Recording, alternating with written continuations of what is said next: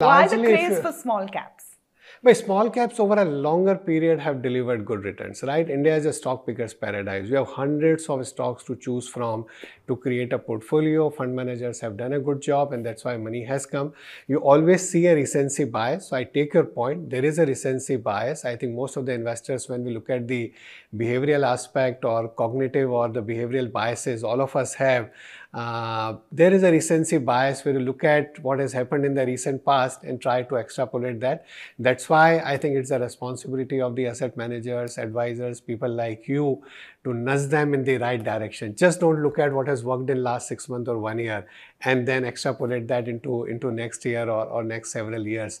I think look at a longer term track record, look at your own risk appetite and, and where your portfolio should be. But why was there a requirement to stop like for example, I think our, our, our um, fund managers and our, our head of equity Chirag has mentioned recently that if you look at the uh, large caps at this point in time, the top 100 stocks, I think in last two years have significantly underperformed mid and small caps.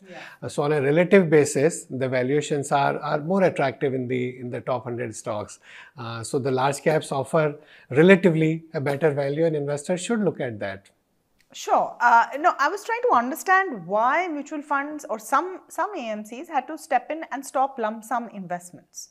Uh, what was the reason? So each it? fund manager would be managing the fund with a certain philosophy, with a certain process, with a certain style.